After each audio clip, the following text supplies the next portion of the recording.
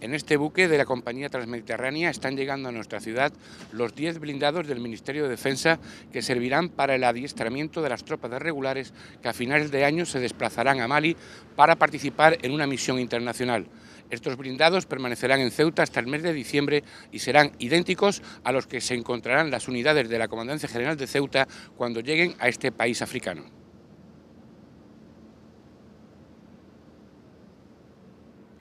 La unidad de adiestramiento está compuesta por 3 RG-31 Niala y 7 LMV Lince. Fueron traídos desde Algeciras por integrantes del propio Regimiento de Infantería Regulares número 54.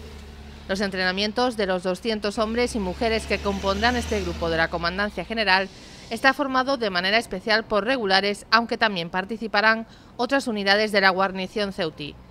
Esta operación en Mali dio comienzo en febrero de 2013 y la misma tiene un marcado carácter de lucha antiterrorista.